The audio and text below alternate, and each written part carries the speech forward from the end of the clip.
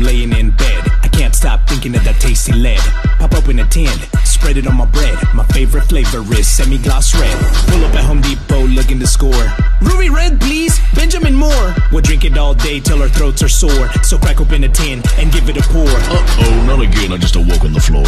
I thought it was October, but now I'm not sure. I might have brain damage, but it doesn't matter anymore. Cause I pissed myself and now I'm mentally four.